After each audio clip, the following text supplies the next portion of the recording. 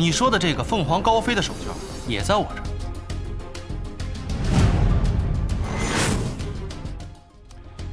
这么说来，穆夫人是利用婉婷小姐肚子疼一事拖住穆公，故意让婉清小姐一个人上了车。我说的对吗？不是的呀，这到底怎么回事？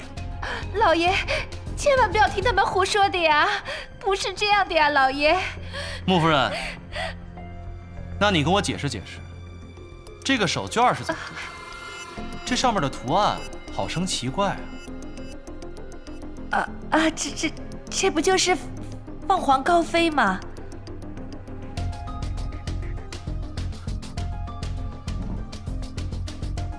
穆夫人，你可真是有先见之明啊！我还没有打开，您怎么知道它上面绣的是什么呀？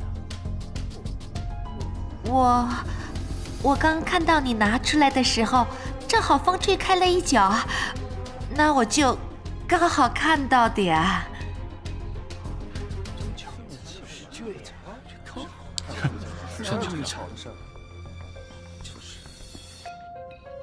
你看清楚了吗？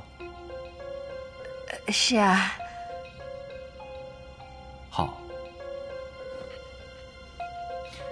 可这上面明明绣的是并蒂莲啊！啊，我我我，啊，我看错了。哼当然，你说的这个凤凰高飞的手绢也在我这儿。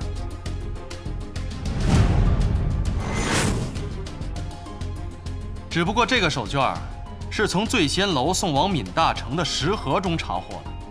穆夫人，是你亲手放的吗？不是呀，不是呀，老爷，不是的呀，不是的，不是的。你那个侄儿崔杰不是已经被闵大成灭口了吗？你说什么？崔杰死了？我侄子死了？不可能！我侄子怎么死的？什么时候呀？老爷，绝对不可能！我怎么会会和害死我侄子的人串通一气呢？我是冤枉的呀！老爷，我侄子怎么死了呀？老爷，老爷啊！你害婉清差点丧命，让光耀身负重伤，你这是百罪难赎。是是是，老爷，都是我的错，是我不好，我是无意的呀，我顺水推舟，让坏人得逞。老爷啊！如此恶妇，你到现在还为自己开脱。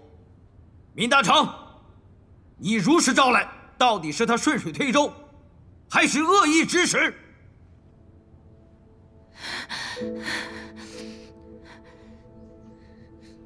闵大成，现在还要替他隐瞒吗？还是你背后另有主使？只要你尽心竭力保护督军府的声誉，答应你的事，我不会食言。是穆夫人，是穆夫人指使的我。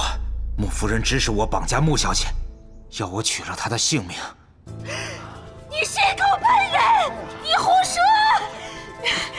说！你血口喷人！你胡说！你胡说！你瞎胡说八道！我是被冤枉的呀！我真的是被冤枉的！你血口喷人呐！穆夫人，人证物证确凿，你还是现在认罪，免得动了刑，可就难看。我不，